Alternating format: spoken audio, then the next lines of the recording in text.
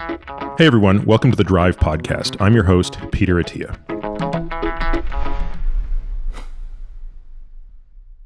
Peter, welcome to another AMA. How you doing? I'm doing well. I notice you're in a, a new environment today. Yeah, just always keeping you on your toes. Always got to switch it up. but um, you would be happy that there's still a race car theme even in this new environment. I noticed that right away. I'm sure you did. Uh, so today's AMA, we're going to focus on something that we haven't really covered before, but we see a lot of questions come through, which is related to iron, iron deficiency, ferritin. This is something that people see on blood tests and they're kind of curious of like what this means, why does it matter? All of that. So we gathered all these questions and the hope is we'll cover you know why is iron necessary in the body? What happens if you're deficient? What are those symptoms? How prevalent is it? Who is most susceptible? And then ultimately really lean into what can someone do about this? And is there even any concern if you have too much iron? So i think it will be really interesting for a lot of people but before we get started anything on that you want to say no, I think this is this is kind of one of those weird topics where like I just didn't learn this in med school or I didn't pay attention to it and in residency we I don't know, I just didn't know much about what was going on. So this has been something that I have learned about only, you know, in the last few years, I would say. Um, and I think it's a far more complicated topic than we're going to cover today. Um, and that's by design, right? So as we thought about you know the way we prepare for these AMAs is obviously very involved. Um, just in case people think I'm not just sitting up here talking off the top of my head, there's a lot of prep that goes into this. Um, but as we got down the rabbit hole of iron biology, it was like the most overwhelming thing I've ever encountered, at least for me. And I realized that we needed to bring it way back to make it more actionable. And I think we've sort of struck that balance here today. So, uh, you know, I yeah, there might be some people who say, "Oh my God, you didn't get into, you know." this carrier protein and that carrier protein and, and I think what we really want to do is make sure that after the end of listening to this, you can look at your blood test, first of all, you know what blood tests you should get, and you can ask for them if you're not getting them. You know how to look at it and interpret it, and you know what to do about it. That's that's basically what we're trying to accomplish here. And I hope we, well, I guess people will be the judge if we can accomplish that. Peter, before we get into Iron 2, I think what we also did for this AMA was snag a few questions that we've seen come through in really high volume um, based on previous content. This will look at, you know, do you take creatine? Do you worry about the sodium in your venison sticks? A few other questions that we've seen come through a lot that we'll also tack on at the end of this. But before we get to those, when we look at iron, I think it'd be really helpful to start – with helping people understand why is iron so necessary in the body and why is this something that people should think about?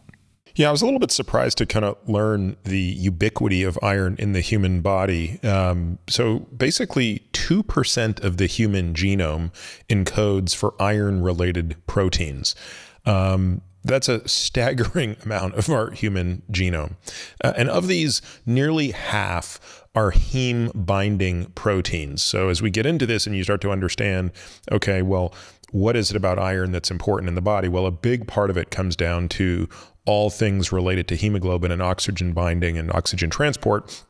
Um, and then another big part of it is basically every enzyme in the body. In fact, six 6.5% uh, of all enzymes in the human body are iron dependent. And again, let's remind people what an enzyme is. An enzyme is a substance that facilitates a chemical reaction. So if you think about the uh, literally trillions of chemical reactions that are going on inside of our body, imagine how many of them are facilitated by enzymes that depend on iron. And and you know, so we could get into more detail, but I think that's the that's the high level of it. I mean, we could we could literally spend the entire AMA just talking about what's going on in the mitochondria, in the endoplasmic reticulum with respect to iron and how it feeds into aerobic metabolism. But I think, honestly, for the sake of getting to what's more actionable, um, you know, I'll, I'll, let people refer to the show notes where they can maybe get a little bit more detail on what's happening with iron. But if you forget you know everything else about iron's importance. Just remember this: um, you're not going to be able to move oxygen around your body without it.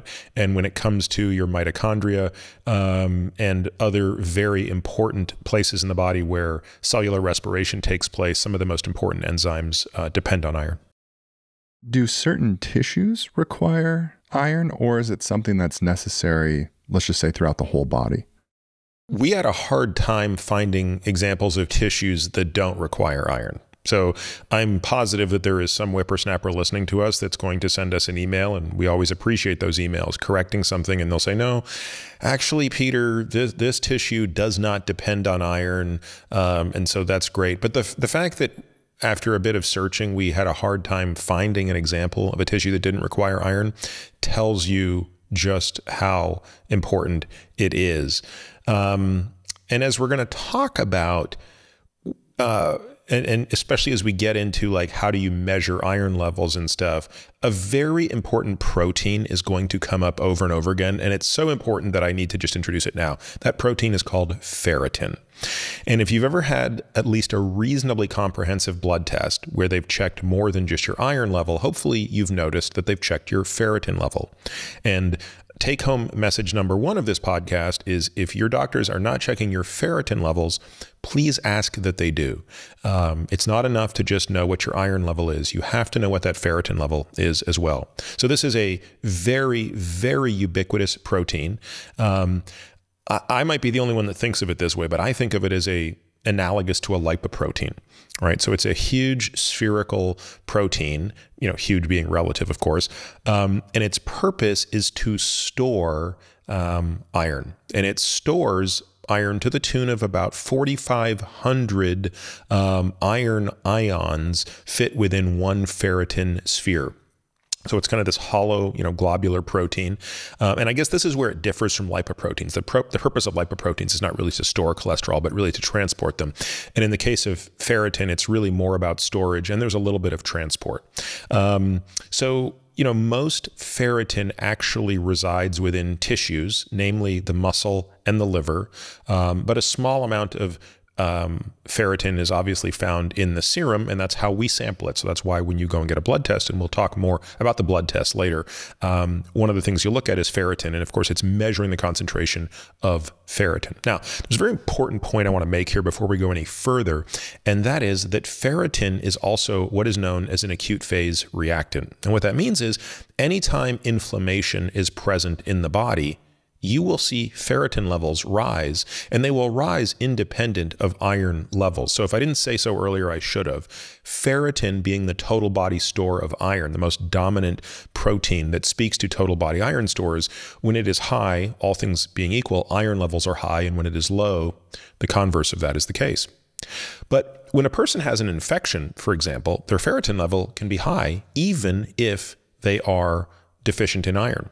Similarly, if a person has chronic inflammation, their ferritin level will be elevated, as will other acute phase reactants such as C reactive protein, even while total body stores of iron remain low. And so, therefore, you have to be a bit more nuanced in your appreciation for how to measure total body iron stores, which again we'll talk about, so that you can not be fooled or misled by high or low levels of ferritin. Peter, I know one of our analysts pulled an image here, and I think sometimes when we're talking about some complex things, it might be helpful. So I'm going to pull it up so I think people can then start to see what you're talking about here. Yeah. Um, Sam pulled this figure, which I like a lot. It's um, anybody who has studied iron will appreciate that this is of, of an, an, you know a profound oversimplification of the system. But truthfully, even when I look at really rigorous um, figures that try to communicate the complete and total nuance of iron metabolism, I end up walking away not understanding anything. So I don't think it's necessary for the purpose of our discussion to get that much more complicated than this. So um, we consume about 10 to 20 milligrams of iron per day. And our absorption of that is roughly 10%. So we're going to absorb somewhere between one and two milligrams of iron per day. The rest of it will be lost, right? It's going to come right out our GI system. We're also going to lose one to two milligrams of iron per day, um, primarily through desquamation of epithelial cells. So if you do the math on that, you're in iron balance if you're absorbing one to two milligrams net per day relative to the one to two milligrams that you're losing per day. So for that person who is in iron balance, um, we will uh, ask the question now where does that iron reside? Where does that iron go um, that you absorb? And basically, as you can see in this figure, three quarters of that goes into hematopoiesis, meaning it goes into the production of red blood cells. It becomes the central piece of the heme um, molecule that sits within hemoglobin, the, the heme the, the protein that holds hemoglobin, uh, that holds heme and that transports oxygen and carbon dioxide for that matter. So um, three quarters of it resides within uh, within those stores. The other 10 to 20% then will be put into a long term storage depot. That's the ferritin that we spoke about. And again, most of the ferritin is going to be in the liver and in the heart. And then the remaining, call it 5 to 15%, goes into these other processes that we've spoken about. So again, uh, just remember you're you're you're going to consume 10 to 20 milligrams of iron. You'll only absorb 10% of that which will perfectly offset that which you're losing. And of that amount that you absorb you put 75% of it right into the production of red blood cells. 10 to 20% of that you put in the piggy bank that's called ferritin and 5 to 15% of that you use for the other enzymatic processes that we discussed. There's one other thing I want to say on this figure before we leave it and I didn't say it earlier, but notice at the top of this figure it says it's got transferrin and it says transports iron. So, um, you know, iron is obviously water soluble, and maybe people remember me talking about things that are water soluble, don't need binding proteins or carrier proteins to move around, right? So, glucose and sodium, potassium, all of those things are water soluble and they transport themselves freely through the plasma. Obviously, we make a lot of hay about the fact that cholesterol is not water soluble, triglycerides are not water soluble, and that's why they need to, in the case of triglycerides, be bound to either albumin or inside of lipoproteins, and obviously cholesterol needs to be inside of lipoproteins. So the so the question is, well, gosh, if iron is water soluble, it should just be able to move willy nilly throughout the plasma, and of course, it can't because it is quite toxic. So, based on the fact that iron, free iron is toxic, it does need to be bound to another protein called transferrin. And a transferrin molecule is able to hold exactly two iron ions.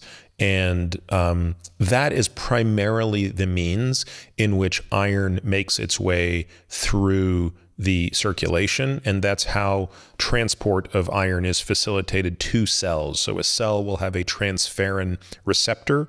That transferrin receptor acts as the baseball glove to which the baseball of transferrin with its two iron ions will bind, and that gets, um, you know, basically. Uh, intra, you know, absorbed into the cell through a vesicle, and then it gets incorporated to all the uses that it needs. So again, I think this this figure really shows you where fer, you know, what's the purpose of ferritin, transferrin, um, and obviously how iron moves between them. Peter, you hinted at it earlier too, and I think it'd be helpful at this point to just really lay into this, which is if people are wondering what can they do and what is the best way to get tested to determine if they have sufficient iron, if they're iron deficient, how would they know how to do that? And then how can they also interpret those results? Thank you for listening to today's sneak peek AMA episode of The Drive. If you're interested in hearing the complete version of this AMA, you'll want to become a premium member. It's extremely important to me to provide all of this content without relying on paid ads. To do this, our work is made entirely possible by our members, and in return, we offer exclusive member only content and benefits above and beyond what is available for free. So, if you want to take your knowledge of this space to the next level, it's our goal to ensure members get back much more than the price of the subscription. Premium membership includes several benefits. First, comprehensive podcast show notes that detail every topic, paper, person, and thing that we discuss in each episode. And the word on the street is nobody's show notes rival ours. Second, monthly Ask Me Anything or AMA episodes these episodes are comprised of detailed responses to subscriber questions, typically focused on a single topic, and are designed to offer a great deal of clarity and detail on topics of special interest to our members. You'll also get access to the show notes for these episodes, of course. Third, delivery of our premium newsletter, which is put together by our dedicated team of research analysts. This newsletter covers a wide range of topics related to longevity and provides much more detail than our free weekly newsletter. Fourth, access to our private podcast feed that provides you with access to every episode, including AMAs, Sans the Spiel you're listening to now, and in your regular podcast feed. Fifth, the Qualys, an additional member only podcast we put together that serves as a highlight reel featuring the best excerpts from previous episodes of The Drive. This is a great way to catch up on previous episodes without having to go back and listen to each one of them. And finally, other benefits that are added along the way. If you want to learn more and access these member only benefits, you can head over to peterattiamd.com forward slash subscribe. You can also find me on YouTube, Instagram, and Twitter, all with the handle Peter Attia MD. You can also leave us a review on Apple Podcasts or whatever podcast player you use. This podcast is for general informational purposes only and does not constitute the practice of medicine, nursing, or other professional healthcare services, including the giving of medical advice. No doctor patient relationship is formed. The use of this information and the materials linked to this podcast is at the user's own risk. The content on this podcast is not intended to be a substitute for professional medical advice, diagnosis, or treatment. Users should not disregard or delay in obtaining medical advice from any medical condition they have, and they should seek the assistance of their healthcare professionals for any such conditions. Finally, I take all conflicts of interest very seriously. For all of my disclosures and the companies I invest in or advise, please visit peterattiamd.com forward slash about, where I keep an up to date and active list of all disclosures.